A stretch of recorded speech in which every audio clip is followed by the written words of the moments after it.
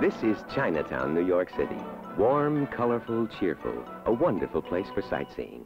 But not everyone goes about simply enjoying the sights. This man, for instance, is on his way to the bank. Not any bank, but this one, Chemical New York. The bank with the hometown touch. What is it about Chemical New York that makes our man feel at home?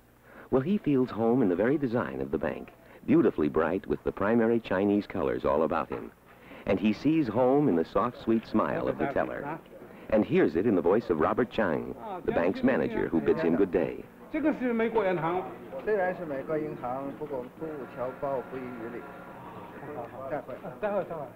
Chemical New York always makes him feel at home.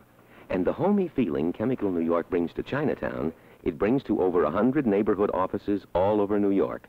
Why not bank at Chemical New York, the bank with the hometown touch?